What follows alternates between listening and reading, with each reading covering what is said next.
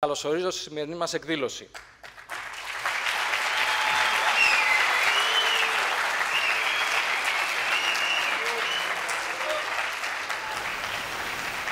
Ο Σύλλογος των Φροντιστών, σε συνεργασία με την ΟΕΦΕ και υπό την αιγίδα του Επαγγελματικού Επιμελητηρίου της Αθήνας, διοργανώνει τη σημερινή μοναδική εκδήλωση επαγγελματικού προσανατολισμού.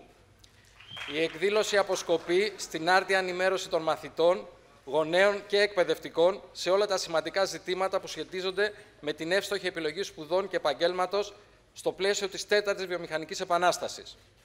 Στην εκδήλωση αυτή, όπου συμμετέχουν και καταξιωμένοι ομιλητές, οι συμμετέχοντες θα έχουν τη δυνατότητα να ενημερωθούν για τα πλέον περιζήτητα επαγγελματικά και επιστημονικά πεδία της παρούσας και αυριανής αγοράς εργασίας. Να μάθουν πώς από κλασικές σπουδές και κλασικά πτυχία μπορούν να συνεχίσουν σε περιζήτους κλάδους της επόμενης δεκαετίας. Να ανακαλύψουν την αξία της διεπιστημονικότητας και να αντιληφθούν το εύρος των επιλογών που έχουν, αλλά και τα άγνωστα επαγγέλματα που έχουν δημιουργηθεί. Να ακούσουν καταξιωμένους επαγγελματίες και επιστήμονες που θα αναδείξουν δυνατότητες και διαφορετικές σε πολλούς κλάδους. Θα ήθελα να αναφερθώ στους ομιλητές σημερινής ημέρας, αλφαβητικά, είναι ο κύριος Σιμεών Αγαθόπουλος, καθηγητής μηχανικών της επιστήμης των υλικών από το Πανεπιστήμιο των Ιωαννίνων. Σας ευχαριστούμε πολύ.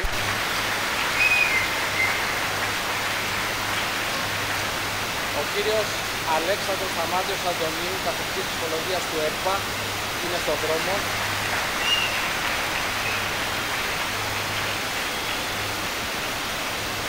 Ο κύριος Νίκος Δημητράκος είναι ταξίαρχος στην ενεργεία του ελληνικού κρατού.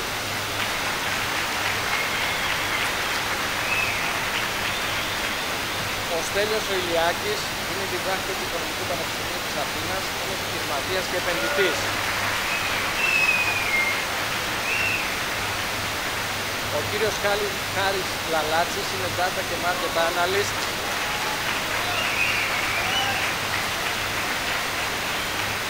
Και ο κύριος Χρήστος Ταουσάνης, ο υποδεσπότης της σημερινής ομιλίας, επιστημονικός διευθυντής της Employee Edu. Όπως καταλαβαίνετε, για τη σημερινή εκδήλωση εργάστηκαν πολλοί άνθρωποι. Θα ήταν παράληψη να δεν ευχαριστήσω τους συναδέλφους μου από το 10 Σίγμα των Φωτιστών. Θα ήθελα να ευχαριστήσω και τον πρόεδρο του ΟΕΦΕ που είναι πάντα μαζί μας.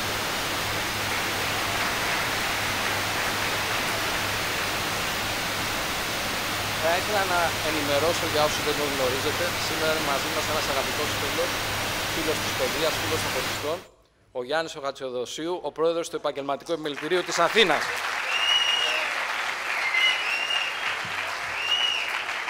Θα ήθελα επίσης, θα ήθελα επίσης να ευχαριστήσω για την προσέλευσή του τον πρώτο αντιπρόεδρο του Επιμελητηρίου της Αθήνας, τον κύριο Νίκο Γκρέτζελο.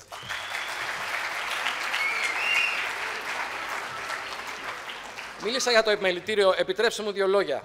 Τα επιμελητήρια και κυρίως το επιμελητήριο της Αθήνας, πιθανόν κάποιοι το γνωρίζετε, αποτελεί γνωμοδοτικό και συμβουλευτικό όργανο της πολιτείας που βασικό του σκοπό έχει την ενημέρωση, την προστασία και την ανάπτυξη της τάξης των επαγγελματιών που είναι μέλη του. Στην Αθήνα τα μέλη είναι γύρω στους 250.000. Το Επαγγελματικό Επιμελητήριο της Αθήνας έχει αποκτήσει μια σφαιρική και ειδικότερη γνώση του ελληνικού επιχειρηματικού περιβάλλοντος. Έχει αντιμετωπίσει και αντιμετωπίζει καθημερινά τις πολυάριθμες και επιφύλου χαρακτήρα ανάγκες των επαγγελματιών, με αποτέλεσμα να γνωρίζει σε μεγάλο βαθμό τις ιδιαίτερες ανάγκες μας και να προσαρμόζει τις υπηρεσίες του στην εκπλήρωση αυτών.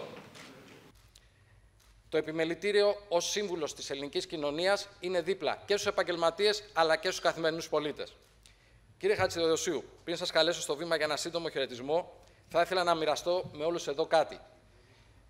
Ίσως δεν γνωρίζετε, όσοι εμείς είμαστε στο επιμελητήριο της Αθήνας, δεχόμαστε συνεχώς από τον κύριο Χατζηδοσίου bullying.